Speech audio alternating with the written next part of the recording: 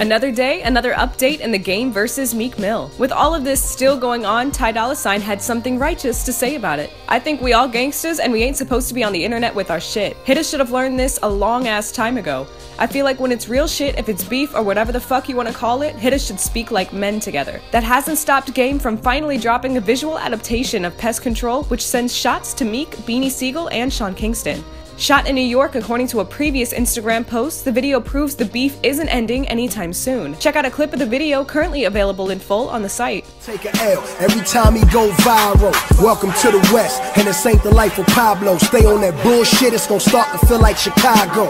Keep it 100, you Nicki Minaj sideshow. Still chasing dreams, I made dreams in 05. Oh, and there's also that clip of Sigel getting knocked out by a Dream Chasers affiliate. This is ridiculous, right? Meanwhile, another more serious beef entered a new phase last night in the first presidential debate of 2016, the hour long standoff between Democratic nominee Hillary Clinton and Republican nominee Donald Trump.